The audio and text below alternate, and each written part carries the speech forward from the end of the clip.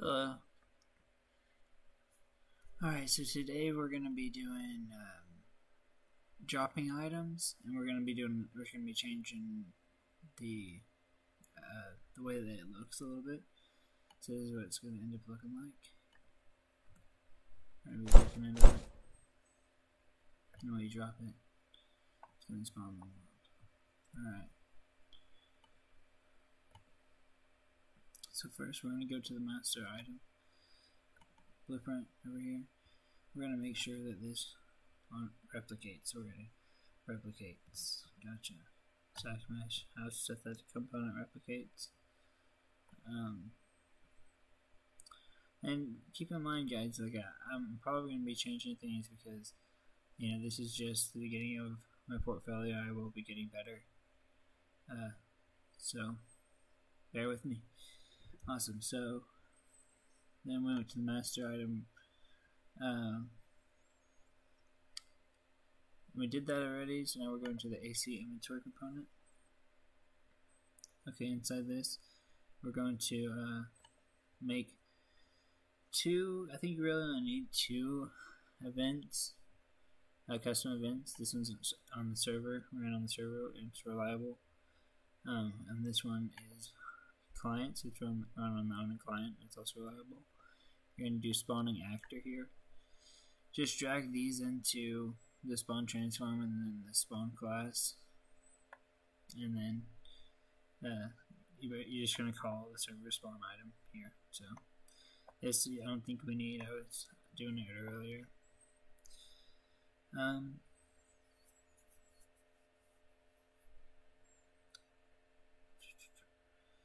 Let's see. Bear with me. Updating, updating. My brain, you know, freezes here.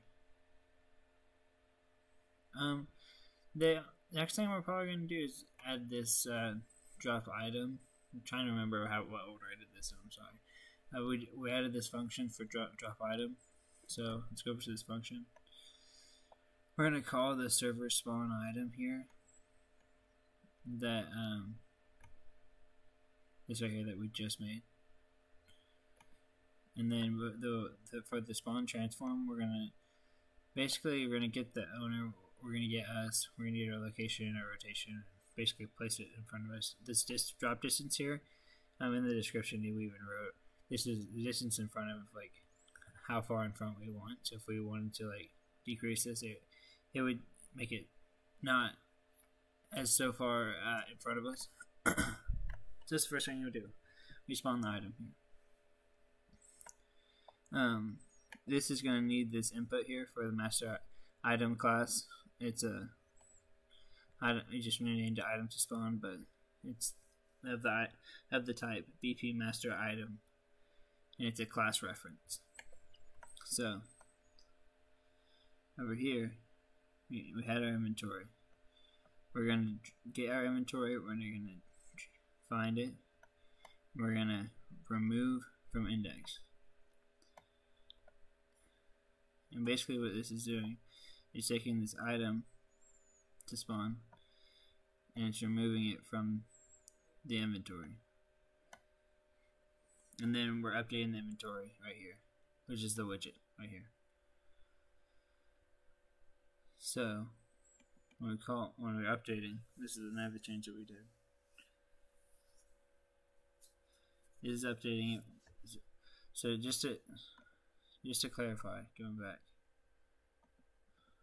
is probably gonna be a longer video. Working right now. I'm sorry. Yeah, so we spawned the item. we got the inventory uh, variable.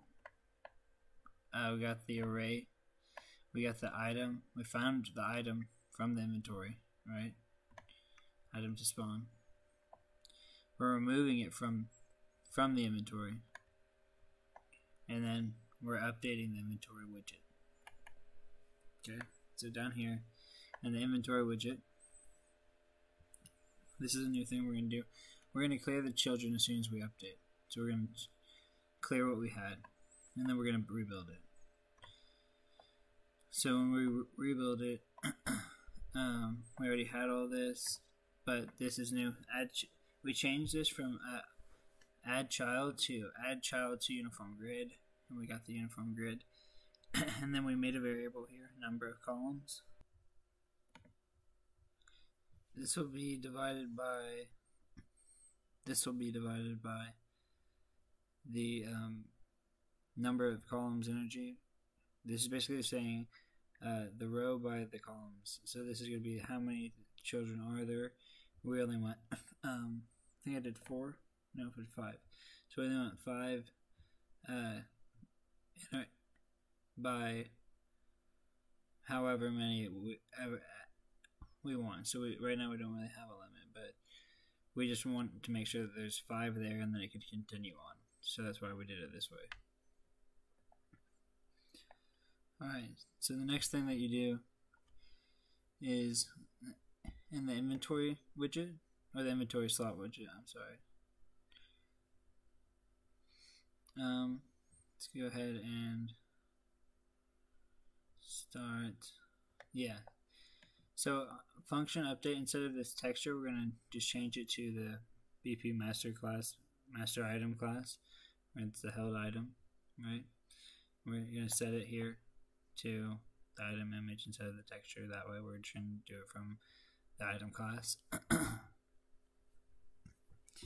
then we're going to uh,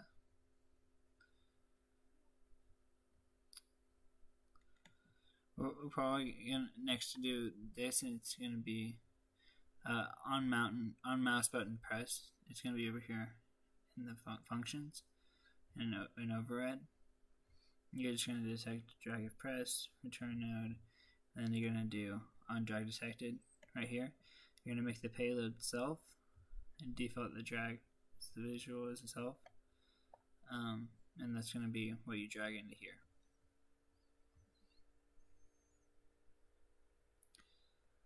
Um, that payload is going to be important because let's see that is where you are going to need to make your next widget.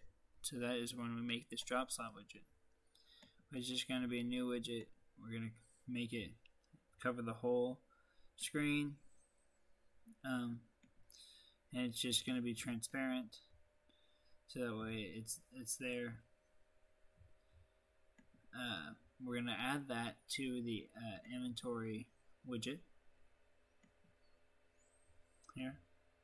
But we're going to put it behind everything so that way, you know, everything that we do here, it won't interact with, hopefully. So, go back to drop slot. Go to the graph, go to the function on drop. We're going to make that function on drop here. We're going to the operation payload cast to inventory slot uh, there's going to be this payload right here. As inventory slot, get held item. Yeah, this is going to be on drop, so it's going to be whatever is dropped onto there, right? That's what it's going to get the payload. It's going to cast it as inventory slot, and it's going to get the held item that we dropped in there. It's going to get this function drop item that we have in our inventory component. Brings us all the way back.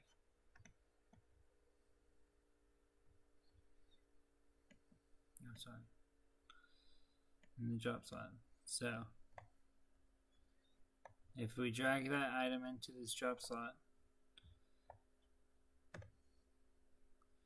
It gets the payload.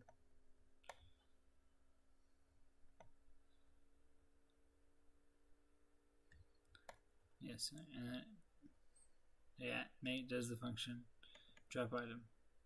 It updates inventory. Awesome. so, one more time, this is an action. Uh, That's five. Let's see, there it is in front of me.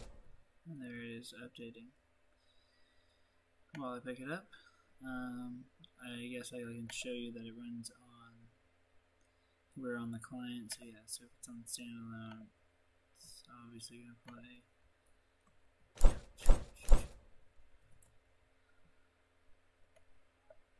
Like I said, we can change this distance as 300 right now, so we can do 200.